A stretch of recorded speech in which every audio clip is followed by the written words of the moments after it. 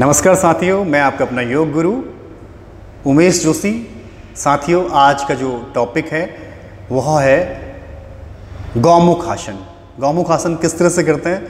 करने से पहले मैं आप सभी से निवेदन करूँगा कि आप हमारे इस यूट्यूब चैनल को लाइक करें शेयर करें सब्सक्राइब करें, साथ ही साथ कमेंट अवश्य लिखें।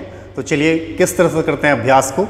सर्वप्रथम, अपने दाहिने पैर को बाएँ पैर के पास से क्रॉस कर लेते हैं। इस तरह से, बिल्कुल क्रॉस कर लें। और ये इस तरह से आ जाएँ। और तदुपरांत जो पैर ऊपर होता है, उसी हाथ को ऊपर की ओर लाते हैं। उसी हाथ को ऊपर की ओर लाएँ और पीछे से दूसरे वाले हाथ को लॉक कर लेते हैं। लॉक करके गर्दन सीधी रहे और डीप ब्रीथ करते हैं।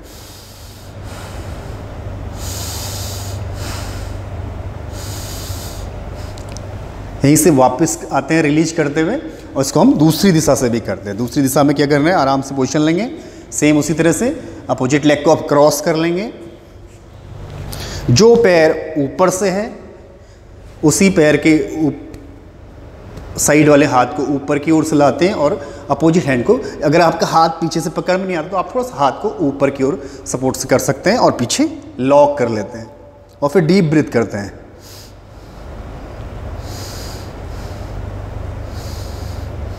रिलीज़, वापस आते हैं।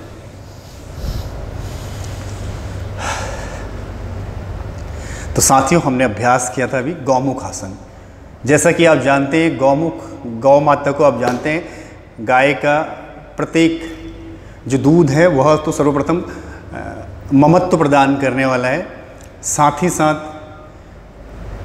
इस अभ्यास से हमारे वक्ष स्थल चौड़े होते हैं। पाचन तंत्र में अच्छा खिंचाव होता है, लंग्स में खिंचाव होता है, हमारे हृदय में खिंचाव होता है। और हमारे विशुद्धि चक्र कंठ में भी और साथ ही साथ शोल्डर में जो सर्वाइकल की दिक्कत होती है, वह भी दूर होती है।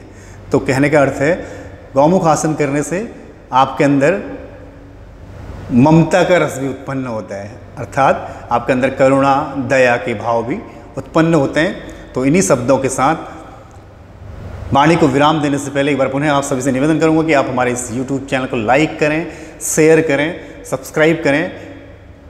धन्यवाद। नमस्कार।